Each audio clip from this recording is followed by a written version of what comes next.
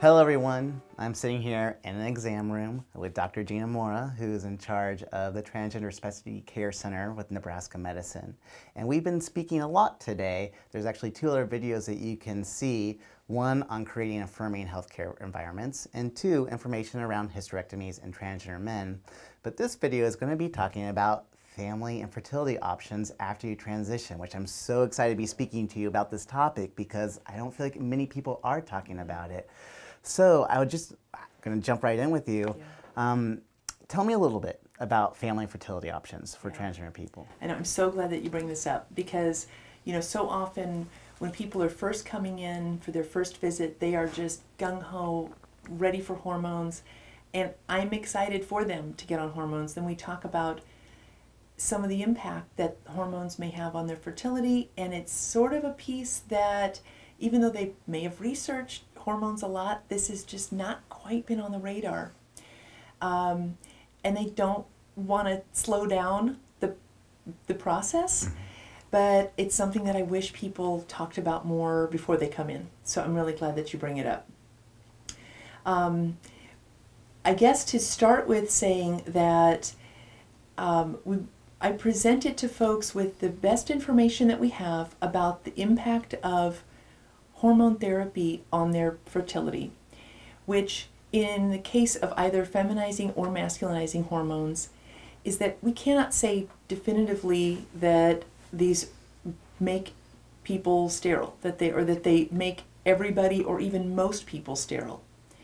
Um, but they can affect fertility for some people, and I don't have a way when I'm first seeing you and starting you on hormones, I don't have a way of knowing are you going to be a person that is that has your fertility impacted long term or not. So I then have to regard that anyone is starting on hormones may have long term issues with fertility. Um, so let's just take the case of transgender women 1st mm-hmm. So we know that when they are starting on hormones, we know that their sperm counts are going to go down, frequently pretty dramatically. Um, probably not to zero, although they could. That certainly has been seen. Um, but I say probably not to zero because I certainly don't want people counting on this as a form of birth control. If right. they're having sex that could lead to a pregnancy, I want them to, to not count on that. I'm just going to pause you for a second because yeah. this is an important point. I don't want to lose it hormone therapy is not birth control. For transgender men on testosterone, for transgender women on estrogen, it's not birth control. You have to have other safer sex measures involved when you're doing whatever you're doing, right? So I'm sorry I interrupt you, but it's so important to remind people right. that. Um, but that I would counsel them that um, in addition to it probably lowering their sperm count while they're on cross-sex hormones, that even if at some point in the future they were to go off hormones, which frankly most trans women do not intend to do, do not would not want to do, but if, if they were to make that decision, they could not count on their sperm count coming back up to a range that would make them fertile. Um, and so with that in mind, I counsel everyone to strongly consider if, if they have any consideration of wanting genetically related kids down the road, or they just want to postpone making a decision about you know this this major part of your life that they freeze sperm beforehand. Um, and i and i want to emphasize to people that it's really it's to me it's a matter not that of course everyone wants genetically related kids. They don't. Some people are quite clear in their understanding of themselves that they don't plan to have kids or that they would prefer to adopt kids. And i I don't have any judgment on that whatsoever. To me, the important thing is that freezing sperm beforehand allows for you the option to delay making that decision.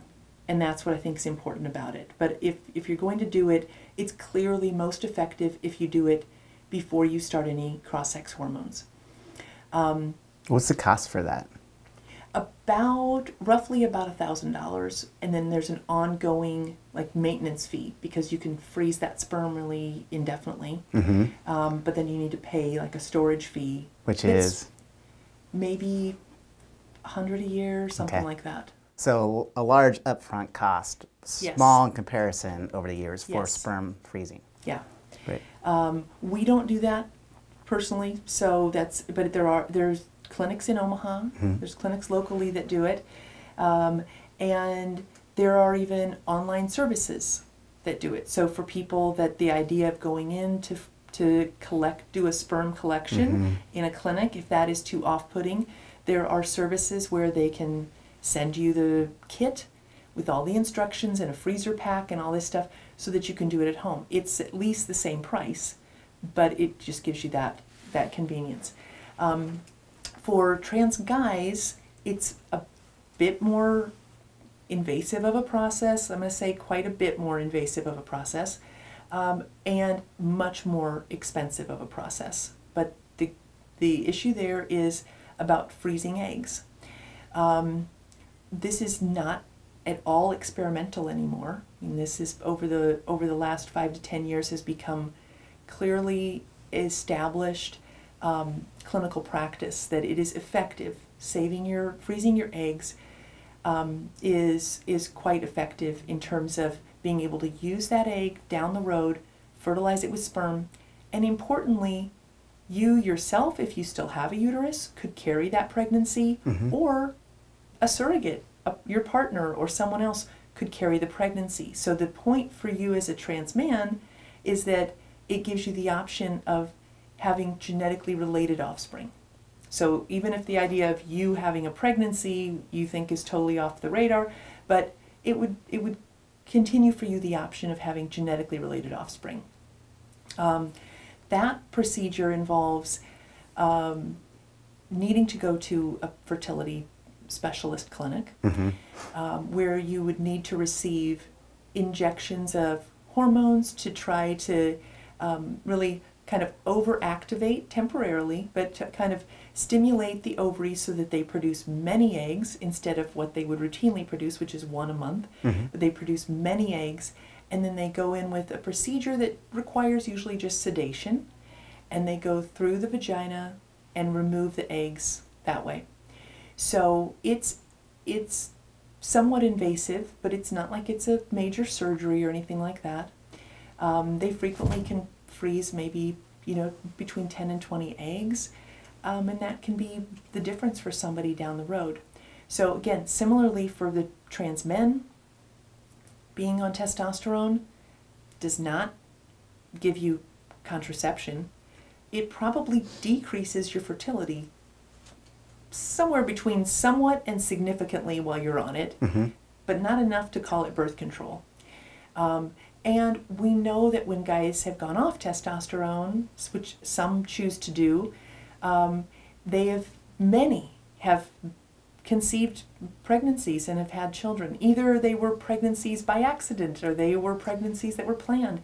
But we know that definitely can happen. But there have also been many men that they go off testosterone with the hope of becoming pregnant um, and find that their periods come back but are never quite regular enough. At any rate, they're subfertile. They're, they're not able to get pregnant easily. And so, freezing your eggs before you start testosterone at all would be considered ideal.